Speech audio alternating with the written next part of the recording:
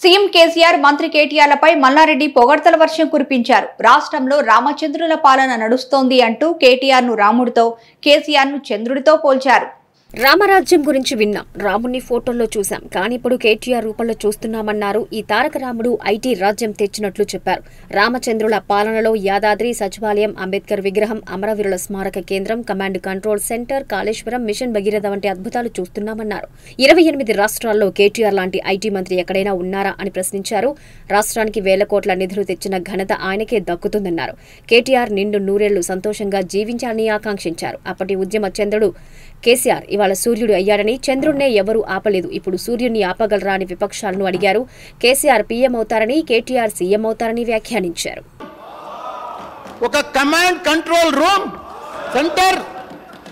అదే మాదిరిగా ప్రపంచంలోనే ఎత్తైన ఫస్ట్ లిఫ్ట్ ఇరిగేషన్ మన Kaleshwaram project. Mission mission Bhagiratha. ఇంకోటి అదృష్టం అంటే ఏంది గుర్తు? నాది అదృష్టం అధ్యక్ష. ఎందుకంటే మన లక్ష్మీ బ్యారేజ్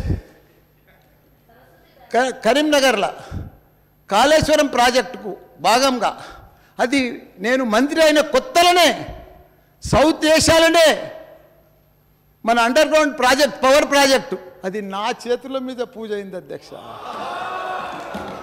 నా జన్మ తరించిపోయింది అధ్యక్ష.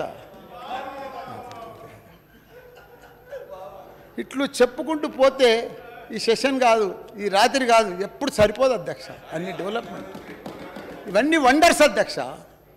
చరిత్రలు నిలిచిపోయేటి అధ్యక్ష. సచివాలయం అంటే మా సెక్రటరియట్ అంటే మామూలు విషయమా అధ్యక్ష? కాళేశ్వరం అంటే మాది మామూలు విషయమా? ఇవన్నీ కూడా మాయంలో జరిగినందుకు ఒప్పుకోవడం గర్వకారంగా ఉంది అధ్యక్ష. ఇవన్నీ మా కేసీఆర్ గారి ఆశీర్వాదం వల్ల మా కార్మికుల కృషితోటి అధ్యక్ష. ఇవన్నీ కూడా మా కార్మికుల కృషి ఉన్నది అధ్యక్ష. కాబట్టి ఒక యజ్ఞంలో నేను కూడా భాగస్వామి అయినందుకు ఎంతో అభి అదృష్టవంతుని అధ్యక్ష. ఇప్పుడు దేవుని జపం చేస్తూ కొంతమంది పెద్దలు మనుషులకు ఒక విషయం చెప్పాలి అధ్యక్ష.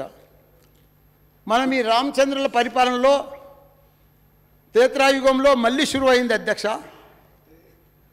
రామరాజ్యం అంటే ఇట్లుంటుంది అట్లుంటుంది అని వినడం అధ్యక్ష. రాముడంటే మనం ఫోటోలనే చూసినాం అధ్యక్ష.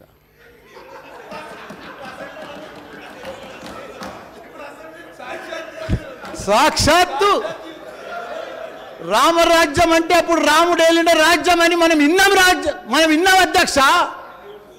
కానీ సాక్షాత్తు మన తెలంగాణకు ఐటీ రాజ్యం తెచ్చిన ఘనత మన తారక రాముడు అధ్యక్ష.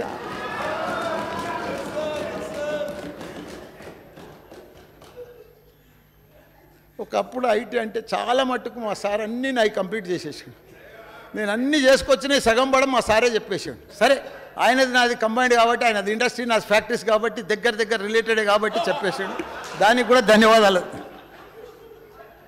ఒకప్పుడు ఐటీ అంటే బెంగళూరు అధ్యక్ష.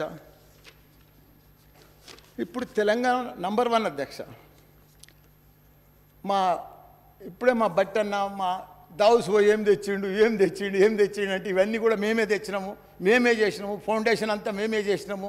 అప్పుడు మేమే ఇది చేసినామని చెప్తా ఉన్నారు పెద్ద పెద్ద ఎత్తున.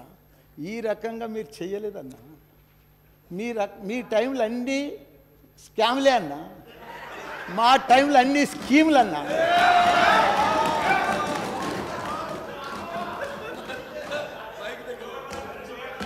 దావోస్కి పోయి వెయ్యిల కోట్ల అధ్యక్ష. వెయ్యిల కోట్లు. మొన్ననే ఇరవై ఒక్క కోటి మళ్ళా రాత్రి మహేందర్తో మళ్ళా వెయ్యి కోట్లు. రోజు కోట్లే అధ్యక్ష. వెయ్యిల కోట్లు తెచ్చిండు అధ్యక్ష మన రాముడు. వెయ్యిల కోట్లు మన రామన్న. ఒకటే ఛాలెంజ్ చేస్తున్నా బట్టన్న. మా అన్న మా ఈటలన్న బయటికి పోయింది కానీ. ఇరవై ఎనిమిది రాష్ట్రాలు ఉన్నాయి అధ్యక్ష మనకు.